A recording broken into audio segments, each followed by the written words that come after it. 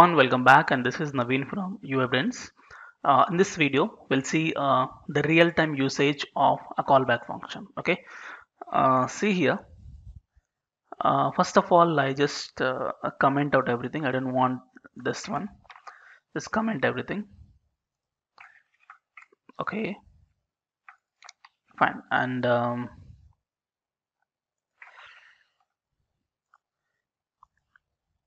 yeah, okay, now data. Let's see, yes, still you get the color. Hmm, I don't know. Okay, then fine. Um, here, uh, what I do is, um, yeah, I'll just take an array. Let's employees is equal to one array. Okay, so this array contains an ID of one, and the name is John, and uh, the age is 35 okay same like this I have another object which contains an ID 2 and the name is Rajan and the age is 25 okay so I have employees array. And here I'll just create two functions. One is create employee and one is fetch employee. Okay uh, let's create employee is equal to you can take an arrow function create employee. So what it does is you must have to provide an employee object so it's gonna create a new object. Uh, I mean it's gonna create I mean it's gonna add this employee to this array. Okay? But I don't want to execute this immediately but I want to wait for some time because uh, generally uh, create employee logic with the database. Takes time. So I want to just um, you know replicate the same type of scenario. So I just use set timeout. So set timeout. But set timeout expects a function comma some 2000 milliseconds. Okay. So here what I'm doing is whatever the employee you have passed in the same employee I'm gonna push it to the employees. Array. Okay so nothing I'm doing. I'm just taking employee pushing to the existing employee. This is called create employee function. Uh, fine. Next what I'm doing is let uh, fetch or get employees is equal to. So this is another function to get all the employees okay. Uh, here again um, I want to make a for time some time to execute the get employees from database. So I'll make set timeout. Uh, here I have a function for 1000 so this fetching just taking uh, one second time okay?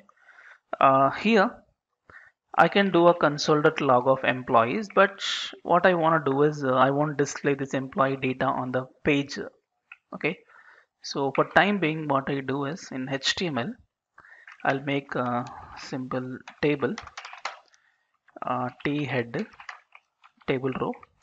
So I have th star 3 tab uh, ID and let's take like this uh, uh, employee ID and let's say employee name and let's say employee age.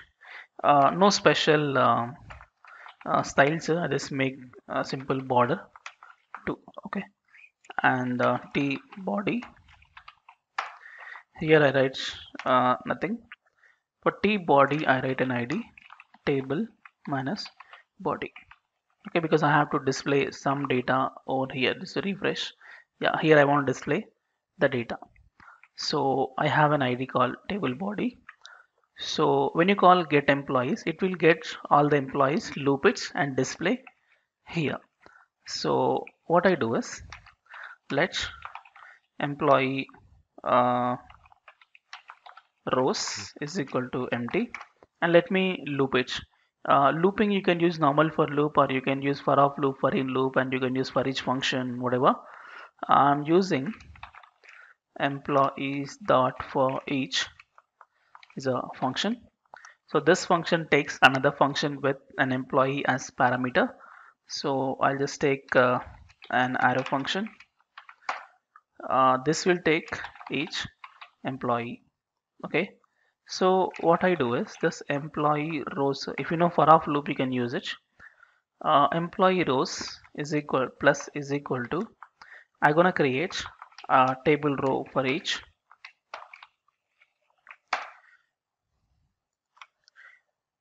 um, table row. So in this table data so I display first the ID so employee dot ID and then uh, name and then age. Okay employee rows I got it. And these employee rows I wanna put it to the uh, the table. So I write directly document dot query selector of hash uh, table minus body dot inner HTML is equal to employee rows. Okay so whatever the table rows you have constructed that I'm gonna put it to the table. Fine. So you have two functions. One is create employee and then get employee. Okay done. So till now no output because you're not called any function. Okay so employees having two um, two uh, employees. Let's uh, let's do one thing. Create employee. I'm just providing an object with an ID third employee I'm creating. Employee ID 3 comma name uh, let's say Wilson and age 45 okay? So I create a new employee because it will take the employee and push it back to the employees array okay. So already two is there. I'm adding one. So create employee of ID name and age. After that I'm calling get employees function. So I created an employee and then I call employees. So now save it. Let me refresh. So let's check. What happened? You actually suspect uh, you expect that actually uh, three employees because you know already two employees are there. It adds new employee and then get employee. So get employee has to get three employees but you got only two employees. So why? See here. Whenever the javascript trying to call the create employee it is declared that it will take two seconds time okay? And immediately it came to get employees it takes one second time. So what happened? It just executed this one first and after some time it execute push. It means before it executes i mean it, it is not created it's, it's not called the create employee first. It's create it call get employee first because this is the less time than compared to this. So what happened? Uh, by the time you call this one you got only two employees that is display and later you push it to the employees that is now three but does not display. So here uh, yes it works perfectly asynchronously and uh, doesn't wait for other it works perfectly.